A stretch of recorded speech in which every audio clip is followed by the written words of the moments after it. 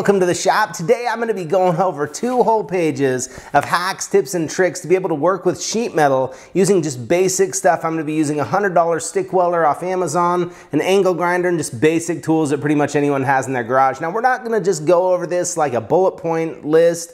I'm going to be building something that's going to solve an organizing problem I've had in my garage for a long time, and it's probably something you could use as well. So make sure to stick around to the end of the video to see what that is. I'm usually one to get right to the point, but I thought maybe we should take a minute because I got something today in the mail. It is this silver play button for 100,000 subscribers. And you know, I'm, I'm just overwhelmed by the growth that we've seen in this channel over the past year and by everybody, all of your support and your comments and the great things that I've heard. And you know, when I hear a comment that it helped somebody with their job or it helped them to learn something that they could complete a project, they built a window frame they wanted to, whatever it is, that means more to me than any award ever could. So I'm just thankful for, for all of that support that, that you guys have given here on the channel. Let's get right into the video. Now, the first thing you might need to do when you're working with sheet metal is make a nice long straight cut. Now, in a sheet metal shop, this is typically done with a shear.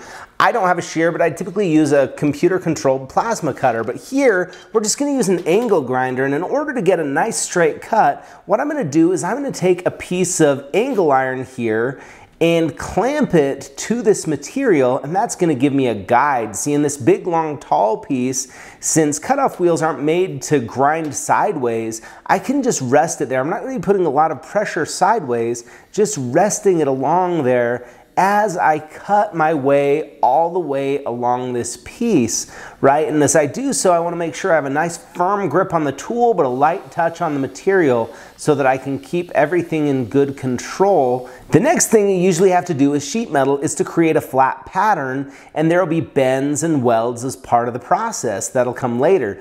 So I'm gonna go ahead and lay this out. And one thing I really love on this speed square is it has these notches that you can put a marker or a pen or a scribe right in and just slide it along to make a line right where you need it. Now I usually mark all the way across at the critical dimensions that I need and uh, those can make up my cut lines. But there's usually portions of these lines that I don't want to cut, so to keep from getting confused, I just erase those using a rag with some acetone on, wipes right off, clean, and I'm good to go. Now, while I'm doing this layout, I'm also gonna put on some bend lines. And to indicate that, I like to use different colors of markers. I'm gonna be using a blue marker here, and it's hard on the camera to see the difference, but in reality, I can see clearly between the two different colors, and that helps me to know where I need to cut, and then later, where I'm gonna need to make a bend.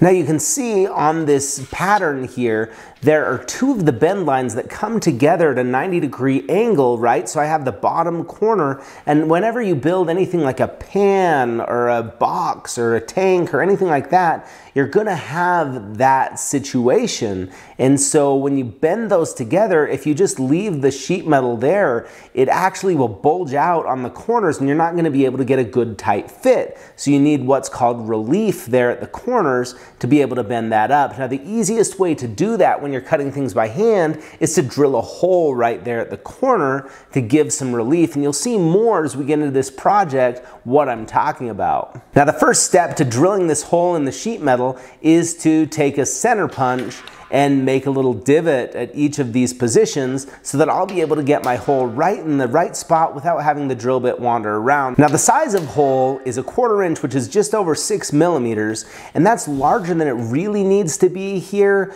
but that gives me a little bit of wiggle room in case my position is off just a bit. Now another great trick when you're working with sheet metal is to put a piece of wood underneath it to drill right through into, and that'll support clear up right next to the hole hole where you're drilling. And if you're drilling really thin metal, you could actually make a sandwich with two pieces of wood and the sheet metal in between them going through. But it just provides a little more support than if it were hanging off the edge of a table or going through a larger hole where it might push and bend the material a little bit. Now that those holes are drilled to give me some relief down at the bottom corners, I'm gonna go ahead and cut out the rest of this flat pattern just using that angle grinder and the guide like I did before. So now I've created this flat pattern and I need to bend it. Now in a sheet metal shop, this would be done with a brake, which is a device that actually holds and supports the metal and will bend it right up. But if you want to do it without using a brake and you don't need full strength in that joint, which a lot of times you really don't need to have full strength or have it seal, you can use a little trick that I'll often use when I design parts for laser or plasma cutting. You can make little slots in it uh, periodically throughout. So I'm gonna mark out some evenly spaced areas and then use this grinder to plunge down through, again, using a firm grip on the tool, but a light touch on the material. And as I plunge through, that's gonna create a slot and weaken the material in that area. So I'll be able to make the bend much easier. So now you can see there's slots all the way along here where I'm gonna bend this into shape and this is really starting to take the form that I want it to. Now as I bent this, I realized that the slots probably could have been a little bit longer because it was still pretty rigid and I had to use a couple pair of pliers and clamp things down my table a little bit to be able to make the bends, but it's still bent in the right spot and formed together very much like I wanted it to. It just took a little bit of manipulation and I had to finish the job using a rubber mallet to get everything formed into shape. All right, now that this thing is bent into the shape that I want, I need to weld up these corners.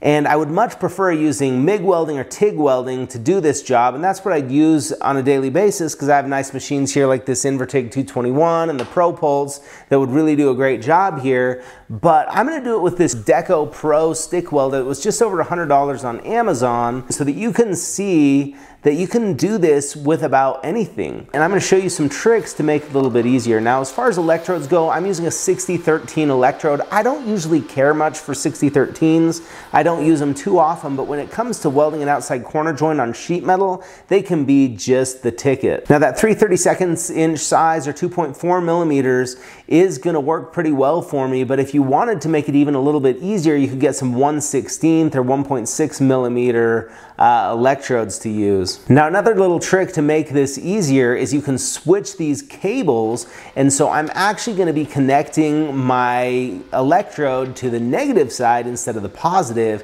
and that will cause it to penetrate a little bit less than it otherwise would have. I made a whole video about how that works if you're curious about it but that's a trick that you can use. And then I'm gonna dial in the settings on my machine. I'm starting out with a setting of 55 amps, but I know this machine is notoriously off on its amperage readout, especially when you're welding using 120 volts, which that's what I'm using today. So I'd recommend that everybody practices or tests their settings before pretty much any weld that you do on your project. It saves you a ton of time, you can correct errors early on, and I'm just gonna show you where I get the material that I use to practice and warm up as well as to make these videos. I get it from Weld Metals Online. I've been a customer of theirs for a while and almost all of the welds that you've seen on my videos for several months have been made using their products. They ship out quickly and I've been able to work out a deal with them where TimWelds viewers can actually get 10% off. So check out that link down in the description below if you want a good place to get some weld practice material. So I'm running this test weld here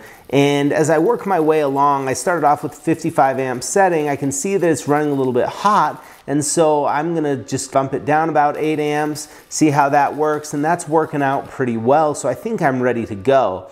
Now, I did this just normally, and so I think that I could go ahead and just run right on this corner, but I'm gonna show you another trick that you can use, I'm gonna do this just as some insurance because it's pretty easy to burn through when you're stick welding on sheet metal. So I'm gonna take this aluminum bar, and I use these as chill bars for TIG welding sometimes, uh, especially with stainless steel where you wanna get a lot of heat out, but you can use it for stick welding. This trick works there too. I just clamp it there in the corner and the aluminum conducts heat so quickly that if your arc or weld pool bumps down through there into it, it's not going to melt that aluminum. It's just going to conduct the heat away, and that's going to help you out to keep you from burning through. So I'll go ahead and weld each of these corners up. As I weld, I'm having to move along at a pretty good clip just to keep everything together, but it's actually going pretty nicely. And as we take a look underneath the slag, you know, the weld doesn't look too bad for a 6013 weld on the corner of some sheet metal using just about the cheapest welding machine that you can pick up off Amazon.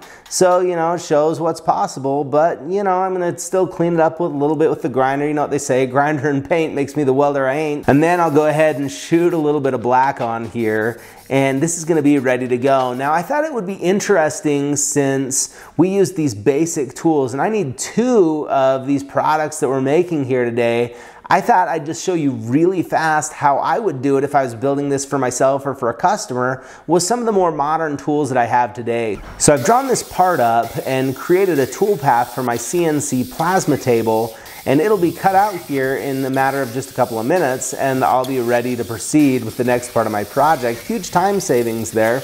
Now if you want to do something like this and you don't have a plasma cutting table, you can use a local supplier or there's mail order suppliers. One I've used a lot is Send Cut Send. They're not a sponsor, but I've been pretty happy with their service. And so you can do things like that to be able to get cut out patterns. Now that it's all cut out, I've lengthened those slots so it'll be a little bit easier to bend and I'm able to do so just by hand. I'm going to put on some gloves here just to keep my hands in good condition. Anyway, as I bend these up, everything's fitting together pretty nicely. Now instead of using that cheap stick welder, I'm going to move over and use the HTP Invertig 221 and I've got this thing set right around 60 amps and I'm controlling it with the foot pedal here. And as I weld up this corner, you might be able to notice just a few little fireworks or, or, some things popping out of the weld. And what that is, is it's an indication that when I was grinding this, I didn't clean enough of that layer off uh, from the plasma cutting. And so there's a little bit of contamination, but this is a real world video, so we're gonna roll with it. And at the end of the day, I got a good enough result. So this turned out pretty well. And you can see how the two products look pretty close to one another. And now my garage is just a little bit more neat and tidy. Anyway, thank you so much for tuning in today. If there's anything that you learned or you liked this video, let me know by hitting that thumbs up below. We'll see you next time.